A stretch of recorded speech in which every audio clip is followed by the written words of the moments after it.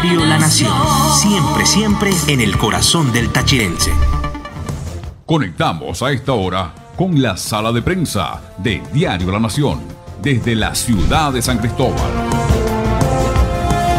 Les saluda Rosagni Zambrano y estas son las informaciones más destacadas. Comenzamos. Hubo un ataque terrorista contra la refinería Amoay, aseguró el presidente Maduro en rueda de prensa internacional. Asimismo informó que Venezuela tiene reserva de gasolina para 20 días.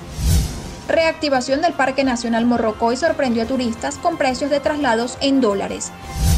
Ministerio de la Salud adeuda 21 millardos de bolívares en el sector en el Táchira. Así lo aseguró la gobernadora Laidy Gómez.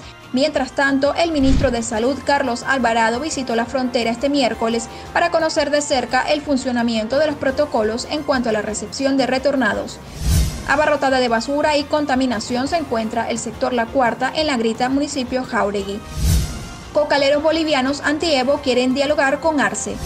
Los Dodgers de Los Ángeles ganan la Serie Mundial. Por actos lascivos contra menores detienen a dos personas en Rubio.